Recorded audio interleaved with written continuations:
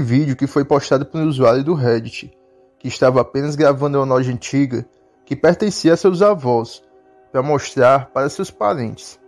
E durante a gravação, uma figura bem esquisita, muito parecida com uma criança, apareceu na filmagem.